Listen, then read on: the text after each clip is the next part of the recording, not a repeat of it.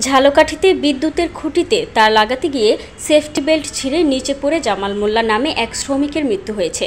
রোববার সকাল এগারোটার দিকে শহরের পূর্ব চাঁদকাঠি এলাকায় এ দুর্ঘটনা ঘটে।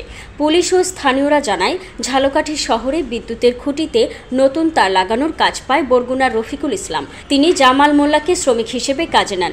শহরের পূর্ব চাঁদকাঠি এলাকায় বিদ্যুতের খুঁটিতে তার লাগানোর সময় আজ সকাল এগারোটায় সেফটি বেল্ট ছিঁড়ে নিচে পড়ে যায় জামাল। গুরুতর অবস্থায় তাকে উদ্ধার করে ঝালকাঠি সদর হাসপাতালে নিয়ে আসলে কর্তব্যরত চিকিৎসক তাকে মৃত ঘোষণা করেন। নিহত জামাল মোল্লা বরগুনা জেলার হেউলিবুনিয়া গ্রামের সুলতান আহমেদের ছেলে। বিদ্যুতের খুঁটি থেকে নিচে পড়ায় জামালের মাথায় গুরুতর আঘাত লেগেছে। অতিরিক্ত রক্তক্ষরণের কারণে তার মৃত্যু হয়েছে বলে জানিয়েছেন সদর হাসপাতালের জরুরি বিভাগের চিকিৎসক মেহেদি হাসান।